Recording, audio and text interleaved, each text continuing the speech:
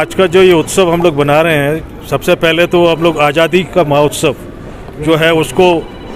एक कड़ी के तौर पे जोड़ के हमने हमारा बी एस रेजिंग डे जो है उसको सेलिब्रेट कर रहे हैं। और उम्मीद करता हूँ कि ये जो एक नया नया पहल जो हमारी तरफ़ से है बी एस एफ़ से कश्मीर की आवाम के साथ जुड़ने का वो बहुत ही अच्छा और खुशगवार होगा। तो क्या इस कुल ये एक हमारा एक नया आयाम है जो हम लोग हमारे जवानों में एक तरीके से बढ़ा रहे बढ़ावा दे रहे हैं। और उसमें इनको जो है ऑर्केस्ट्रा साथ जैज़ बैंड के साथ में जो है इनकी जो अपनी खूबियाँ हैं उसको निखारा जा रहा है। सर मोटिव बताइए। मोटिव जो जैसे मैंने बताया आज़ादी का महोत्सव के साथ साथ हम लोग हमारा fifty seventh raising day celebration जो है उसके ऊपर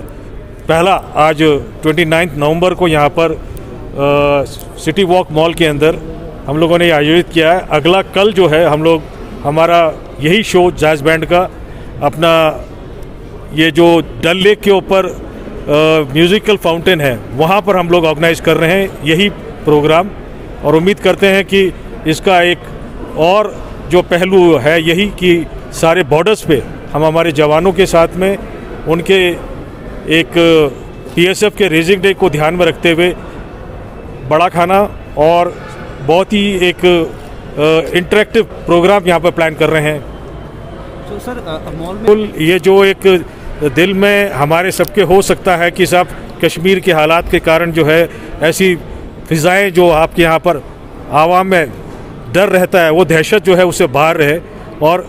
हम एक खुशगवार माहौल में यहाँ पर रहें। उम्मीद करते हैं कि ये जो पहल है हमको कहीं ना कहीं इस बात का जो है याद दिलाएगी कि कश्मीर एक खूबसूरत वादियों वाला प्रदेश है और इसमें हर आदमी को बड़े अमन के साथ में रहना चाहिए।